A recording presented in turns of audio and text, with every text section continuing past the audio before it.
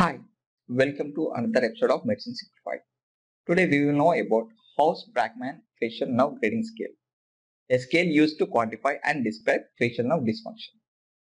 The first one is grade 1, which is normal. There is no dysfunction of facial nerve. Grade 2, slight dysfunction. Coming to forehead, moderate to good in function. Eye, complete closure with minimum effort. Mouth, slightly asymmetry. Grade 3, moderate dysfunction.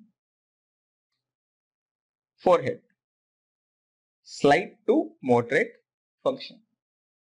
Eye, complete closure with effort. Mouth, slightly weak with maximum effort. Grade 4 Moderate severe dysfunction. Forehead No function. Eye Incomplete closure. Mouth Asymmetry with maximum effort.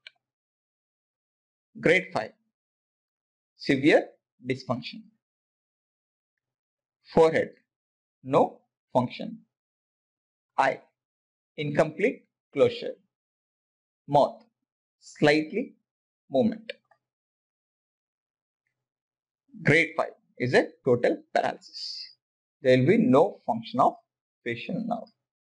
If you like this video, please do subscribe to our channel. Thank you.